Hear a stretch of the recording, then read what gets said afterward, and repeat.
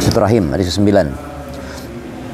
Ani Ani bin Umar radhiyallahu anhu qala qala Rasulullah sallallahu laisa al-wasil bil mukafi walakin al-wasil alladhi quti'at rahimahu wasalaha riwayat Bukhari kada bil mishkat Ibnu Umar berkata bahwa Rasulullah SAW bersabda orang yang menyambung tali silaturahim bukanlah orang yang bersilaturahim kepada orang yang berbuat baik kepadanya.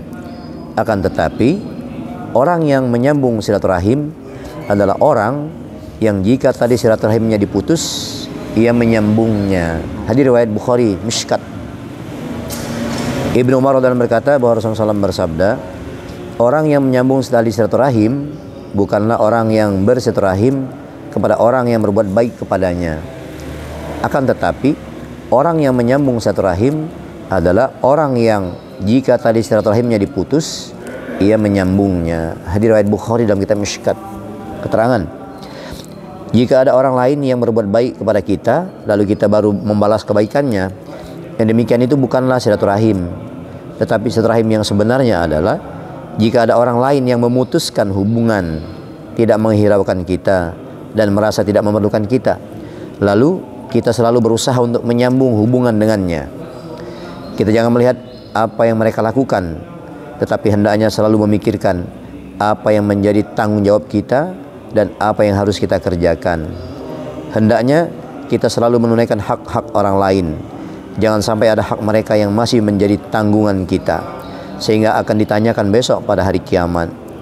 Hendaknya kita jangan mengharapkan agar hak-hak kita ditunaikan, tetapi yang harus kita pikirkan bagaimana kita dapat menunaikan hak orang lain. Karena pahala yang akan kita peroleh di alam lain akan lebih banyak dibandingkan apa yang akan kita peroleh dari pembayaran orang lain yang akan kita terima di dunia. Seorang sahabat bertanya kepada Rasulullah SAW, Wahai Rasulullah, saya mempunyai saudara, saya telah menyambung tali silaturahim dengannya, tetapi dia memutuskan tali silaturahim. Saya telah berbuat baik kepadanya, tapi dia selalu berbuat buruk kepada saya. Dalam setiap muamalah saya selalu bersabar, tapi dia selalu melakukan keburukan.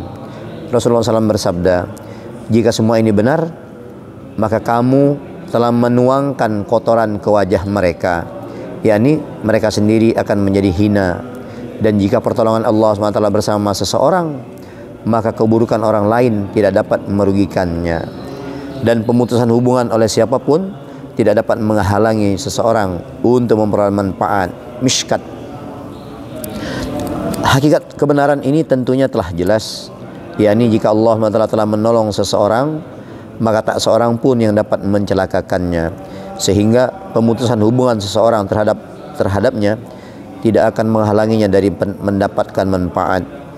Seorang penyair Urdu berkata, Ya Allah, janganlah engkau tinggalkan aku, karena kalau engkau meninggalkan aku, berarti engkau murka padaku. Aku rela engkau bersamaku walaupun zaman meninggalkanku. Sebaliknya, jika Allah SWT berkehendak untuk menghinakan seseorang, maka tak seorang pun yang dapat memuliakannya. Dalam sebuah hadis Rasulullah bersabda, Tuhanku telah memerintahkan kepadaku sembilan perkara. Pertama, takut kepada Allah Subhanahu wa taala lahir dan batin, yakni ketika sendirian maupun ketika bersama orang lain. Yang kedua, berbicara jujur pada waktu senang dan pada waktu susah, pada waktu senang dan pada waktu marah. Manusia jika senang dengan seseorang, ia akan menyembunyikan aibnya dan memujinya. Jika marah, ia akan menuduh yang bukan-bukan. Aku diperintahkan untuk berkata jujur dalam setiap waktu. Yang ketiga, hidup sederhana dalam keadaan fakir dan dalam keadaan lapang. Pada waktu mendapatkan kesempitan, tidak berbuat bakhil, dan pada waktu lapang tidak berbuat boros. Pada waktu fakir tidak merasa khawatir dan pada waktu lapang tidak ujub dan sombong. Yang keempat, kepada orang yang memutuskan tali silaturahim denganku, aku diperintahkan untuk menyambung tali silaturahim dengannya. Yang kelima, aku harus berbuat baik kepada siapa saja yang menghil yang menghalangiku. Yang keenam, aku diperintahkan untuk memaafkan orang yang berbuat zalim kepadaku. Jangan berpikir untuk membalas dendam. Yang ketujuh, diamku adalah untuk bertapakur tentang akhirat atau ayat-ayat Allah Subhanahu wa taala. Yang kedelapan, bicaraku adalah zikrullah untuk bertasbih atau untuk menerangkan hukum-hukum Allah Subhanahu wa taala. Yang kesembilan, pandanganku adalah pandangan untuk mengambil pelajaran, yakni apa saja yang beliau lihat selalu dijadikan ibrah.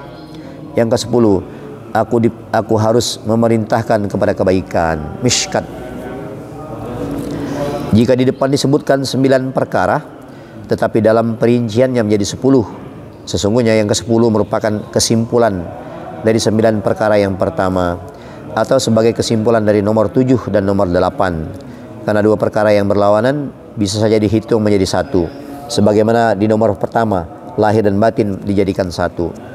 Hakim bin Hizam rahmatullah alaih berkata seseorang bertanya kepada Rasulullah SAW apakah sedekah yang paling utama? Beliau SAW bersabda berbuat baik kepada keluargamu yang syuh. Berbuat baik kepada keluargamu yang syuh. Targib syuh adalah orang yang menyimpan perasaan marah dan iri kepada orang lain di dalam hatinya. Dalam hadis disebutkan bahwa Rasulullah SAW bersabda, barang siapa yang ingin mendapatkan rumah yang tinggi dengan derajat yang tinggi pada hari kiamat, hendaknya dia memaafkan orang yang berbuat zolim terhadapnya, berbuat baik kepada orang yang tidak memberinya sesuatu, dan menyambung tali silaturahim dengan orang yang memutuskan silaturahim dengannya. Durul Mansur. Barang siapa ingin mendapatkan rumah yang tinggi dengan derajat yang tinggi pada hari kiamat, hendaknya dia memaafkan orang yang zolim kepadanya, berbuat baik kepada orang yang tidak ber, yang tidak memberinya sesuatu dan menyambung satu rahim dengan orang yang memutuskan tali silaturahim dengannya. Durul Mansur. Dalam sebuah hadis lain disebutkan bahwa ketika ayat ini diturunkan, khudil afwa wa'mur bil ma bil urfi wa'arid anil jahilin. Jadilah kamu pemaaf dan suruhlah orang mengerjakan yang ma'ruf. Serta berpalinglah dari orang-orang yang bodoh. Al-A'raf 199 maka Rasulullah SAW bertanya kepada Jibril AS mengenai tafsirnya. Jibril AS berkata akan saya tanyakan terlebih dahulu kepada yang maha mengetahui. Lalu akan saya beritahukan kepadamu. Kemudian dia kembali kepada Allah SWT Kemudian datang lagi dan berkata, Allah Subhanahu wa taala berfirman, siapa yang berbuat zalim kepadamu, maafkanlah dia. Dan siapa yang memutuskan pemberian kepadamu, berilah dia. Dan siapa yang memutuskan tali silaturahim denganmu, sambunglah tali silaturahim dengannya. Dalam hadis yang lain disebutkan bahwa setelah kejadian itu Rasulullah SAW bersabda kepada orang-orang, Maukah kalian aku beritahukan tentang akhlak terbaik dunia dan akhirat Sahabat berkata, beritahukanlah ya Rasulullah. Rasulullah SAW bersabda, maafkanlah orang yang menzolimimu. Berilah kepada orang yang memutuskan pemberiannya terhadapmu dan sambunglah tali silaturahim kepada orang yang memutuskan silaturahim denganmu. Ali radhiyallahu berkata bahwa Rasulullah SAW bersabda kepadanya, maukah aku beritahukan akhlak terbaik orang-orang yang awal dan yang akhir? Saya berkata, katakanlah wahai Rasulullah. Rasulullah SAW bersabda, berilah kepada orang yang memutuskan pemberiannya kepadamu. Maafkanlah orang yang membuat zalim kepadamu dan jalinlah hubungan dengan orang yang memutuskan hubungan kekerabatannya denganmu. Uqbah dan berkata bahwa Rasulullah SAW bersabda kepadanya maukah aku beritahukan akhlak terbaik dunia dan akhirat? Kemudian beliau SAW bersabda tentang tiga perkara ini. Kandungan hadis semacam ini juga telah diriwayatkan dari beberapa sahabat radhiyallahu anhum yang lain. Abu Hurairah dan meriwayatkan pasabda Rasulullah SAW seseorang tidak akan sampai kepada tingkat kemurnian iman selama dia tidak mengerjakan hal berikut ini yaitu menjalin hubungan dengan orang yang memutuskan hubungan dengannya memaafkan orang-orang yang berbuat zalim kepadanya mengampuni orang yang mencacinya dan berbuat baik kepada orang yang berbuat jahat kepadanya. Masya Allah. Insya Allah dia mulai kita, kita baca. Menjadi intibar niat amal niat menyampaikan. Berat akhlak Rasulullah SAW Allahumma alhimna marasida umrina wa ayyuna min kami semalam ke tempat Pak Adam